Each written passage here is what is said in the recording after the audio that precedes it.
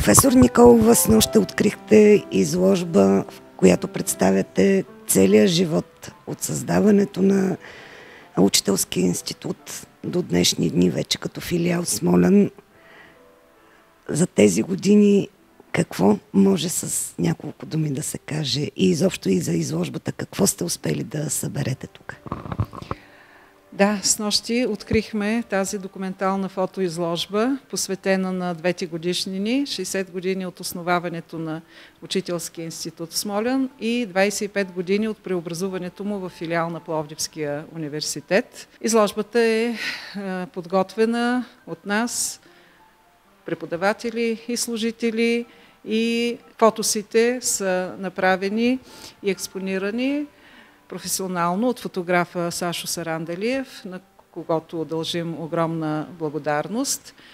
И това са всъщност уловени и запечатани мигове от историята и на института, и на филиала. Аз и с нощи при откриването казах, че когато подготвяхме изложбата, имахме усещането, че сглобяваме парчета история, че редим пъзела на историческата памет. И аз припомних основни, важни събития, факти и интересни неща от историята на института и филиала.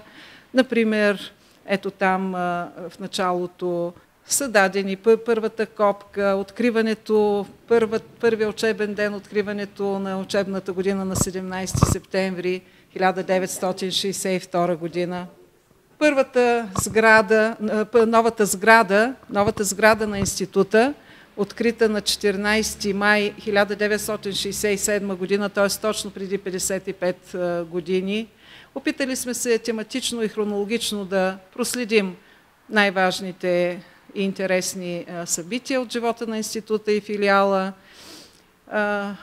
Има табла посветени на студентския живот, промоции, учебни практики, екскурзии, откриване на учебни години, чествания.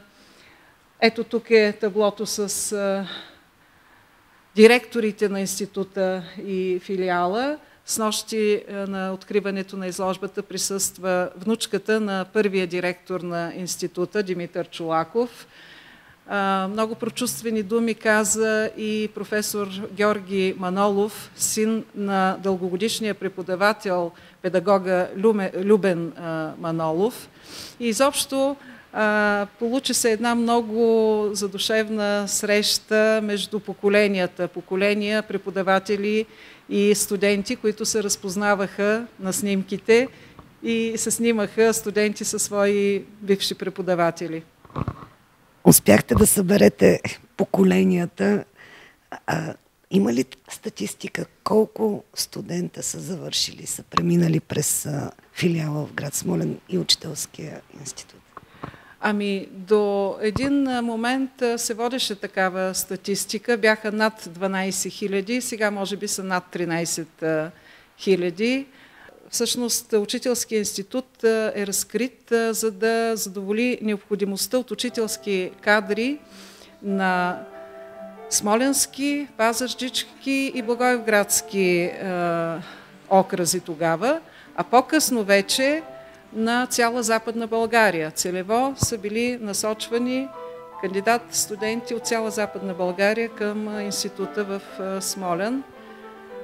И това, с което се гордеем, че през годините сме успели да съхраним духа, специфичната атмосфера, идентичността на това единствено по рода си висше учебно заведение в средните Родопи.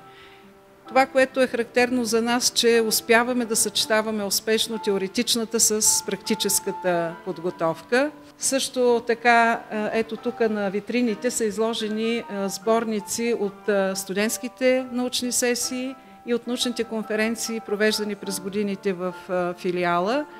И това е много важно, че наред с преподавателската се осъществява и научно-изследователска дейност и че студентите също се въвличат в изследователската дейност на преподавателите. Не случайно, миналата година бяхме включени и определени като един от седемте изследователски института в е, университета в България, а след това бяхме включени в топ 5 на испанската класация за научно-изследователската работа у нас.